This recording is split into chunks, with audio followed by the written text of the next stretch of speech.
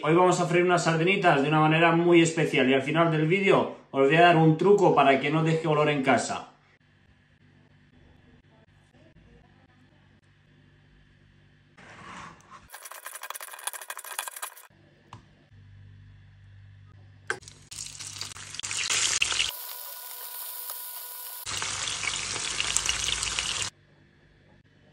Y el truco es cortarle la cabeza y la cola, que es donde concentra la gran parte del olor.